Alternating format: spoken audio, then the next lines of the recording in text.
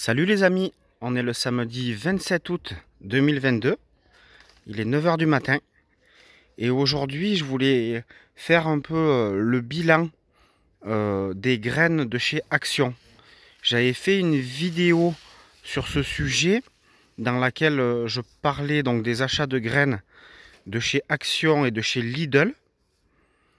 je vous avais fait un retour d'expérience sur les graines Lidl dans des vidéos précédentes, euh, dans lequel euh, je vous expliquais que j'avais eu que des réussites avec euh, les graines Lidl, donc qui sont de, bonne qualité et moins cher que, que ce qui se faisait dans les, dans les autres jardineries. Par contre, il est vrai que j'avais pas semé les graines Action. Donc les graines Action que j'avais achetées, c'était des graines de, fleurs principalement, mélange de fleurs. Je vais vous montrer ça tout de suite. Voilà ce que j'avais acheté, ce que j'avais présenté dans la vidéo sur les graines Action et Lidl. Donc là, on est d'accord que c'est des graines Action. Et donc, c'était un mélange pour les oiseaux et pour les abeilles. Et il y avait aussi un mélange pour les papillons que celui-là, je n'ai pas semé. Et donc, on va aller voir ensemble ce qu'il en est. Donc, j'ai semé quelques mètres carrés de celui-ci et quelques mètres carrés de celui-là. Et donc, j'ai semé ça en début de saison. Et on va aller voir le résultat ensemble tout de suite.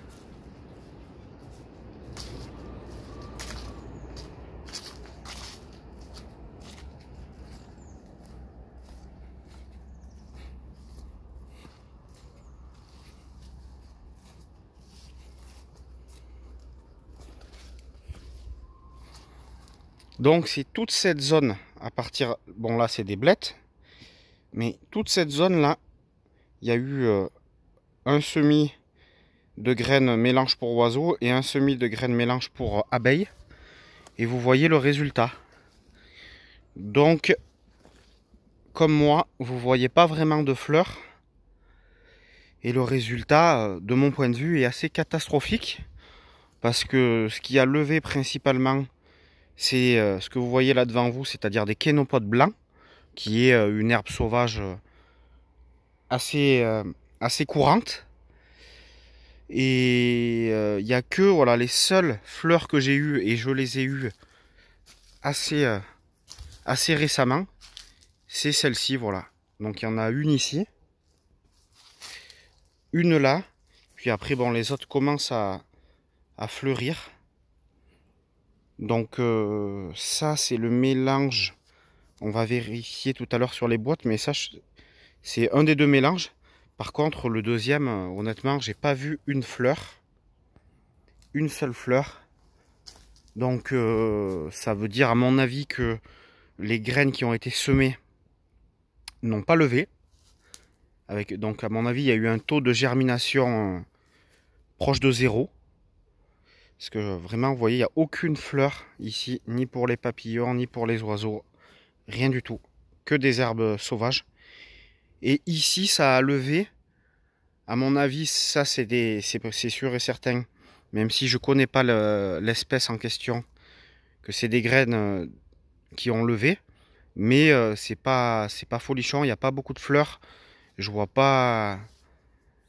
Je, voilà, je vois pas de pollinisateur non plus qui viennent euh, butiner ces fleurs. Donc euh, le bilan pour moi est assez catastrophique. Et donc je n'achèterai plus jamais euh, ces graines, ces mélanges de fleurs de chez Action. On va retourner ensemble voir les paquets de graines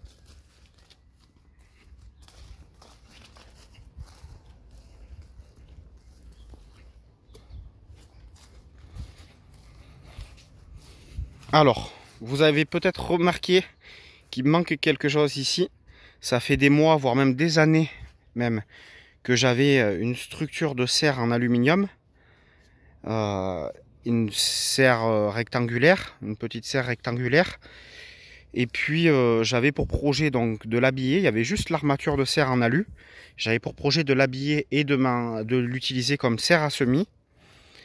Mais je ne l'ai pas fait. Et finalement, si je ne l'ai pas fait, c'est pas seulement par manque de temps.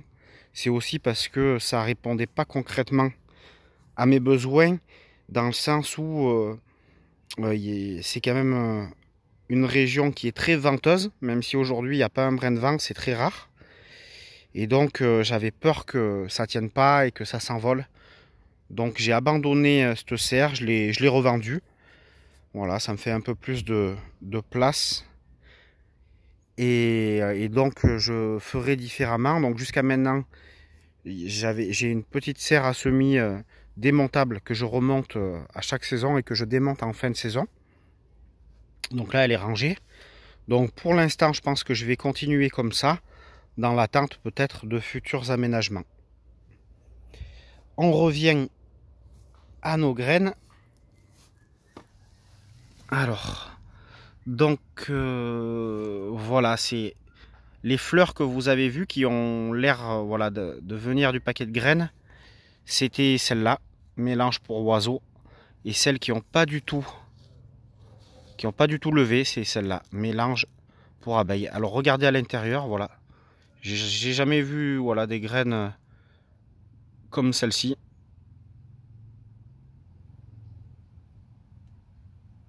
Ça ressemble pas vraiment à des graines.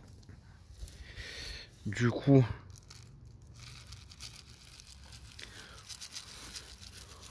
je vais les m'en débarrasser comme ceci. Voilà. Par contre, je vais garder euh, les contenants parce que regardez ça, ça ressemble à un paquet de sel et du coup on va essayer de l'ouvrir d'une main. Voilà. Du coup c'est assez pratique pour semer. Regardez un peu le débit que ça fait.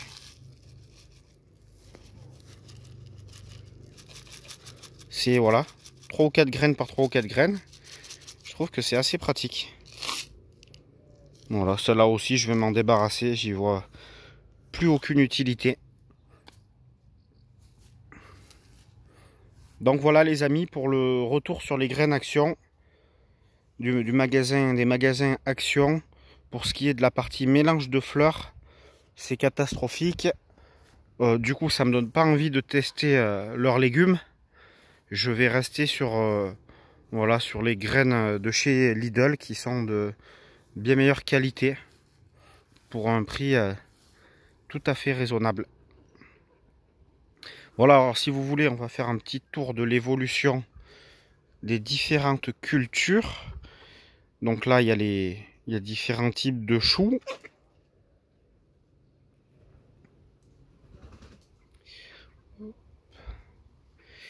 Les tomates qui sont pas dans un très bon état sanitaire on voit voilà que il y a la maladie qui s'installe. Vous voyez des tomates qui pourrissent avant même euh, maturité. Heureusement, euh, c'est pas toujours le cas. Hein. J'arrive à, ramasser quelques belles tomates encore. Mais voilà, c'est pas c'est pas non plus une réussite totale. Mais en même temps, on s'approche de la fin de saison, donc c'est un peu logique aussi. Là encore des choux rouges. On aime beaucoup en manger cru d'ailleurs, souvent, en salade.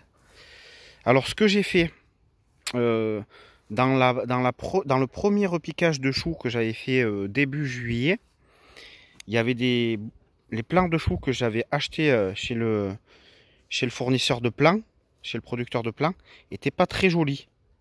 Alors, les autres se sont bien développés, contrairement à ce que je craignais, mais les brocolis, ça a été catastrophiques. Ils ne se sont pas du tout développés. Ils ont commencé à, faire des tout petits, euh, des tout petits brocolis, mais vraiment, euh, c'était vraiment, voilà, ça allait pas arriver au bout d'une vraie production. Ce que j'ai fait, j'ai pas attendu, je les ai arrachés et j'en ai racheté d'autres beaucoup plus jolis que j'ai replantés euh, très récemment. Voilà, donc j'en ai replanté et repiqué 8 plants de brocolis. Ah oui, j'ai eu une grosse, grosse, grosse attaque aussi de, de Dorifort, dont je vous avais déjà parlé dans une vidéo précédente que j'avais eu euh, énormément de dorifort sur pommes de terre cette année. C'était la première année que ça m'arrivait.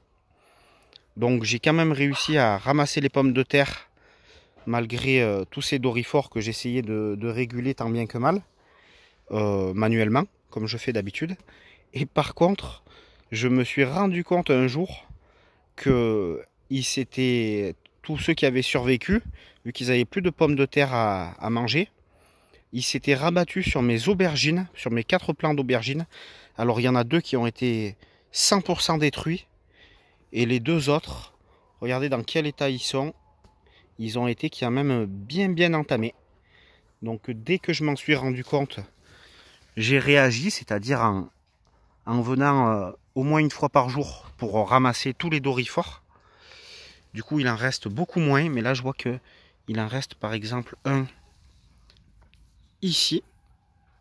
Hop. Il est mort.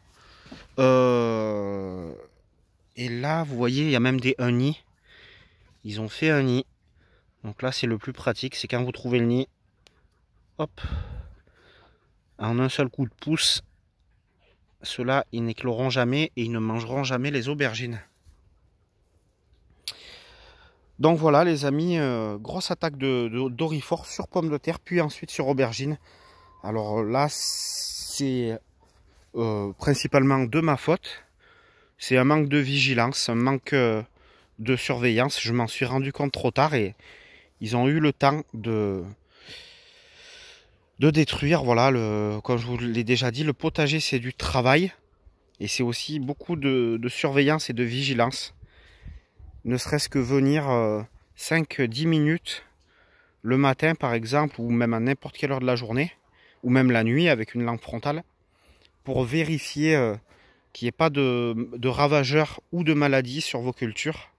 C'est super important parce que si vous le prenez au tout début, vous allez pouvoir euh, rétablir une bonne situation.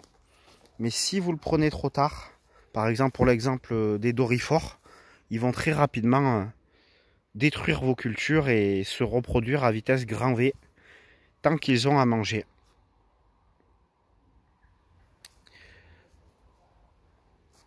voilà, là-bas vous avez euh, le premier semis de haricots qui est en production depuis plusieurs semaines. Ici le deuxième. Et puis il y en a un troisième un peu plus loin que je vous montre, que je vais vous montrer. Voilà le deuxième semis de haricots. Un peu plus loin en bout de planche vous avez des carottes. Bon ben ça c'est le repiquage des poireaux qui, qui a bien fonctionné mais qu'il faut que je désherbe avec aussi notamment euh, de la consoude. Cette fois-ci, je vais pas faire euh, le lapsus. De la consoude qui repousse déjà. Alors que je l'avais normalement retiré entièrement. Mais en fait, il devait rester quelques bouts de racines. Et la consoude euh, repart.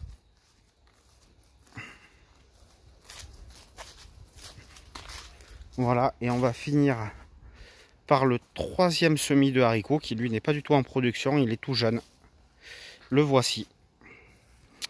Voilà les amis, je vous souhaite un excellent week-end et à très bientôt pour une prochaine vidéo.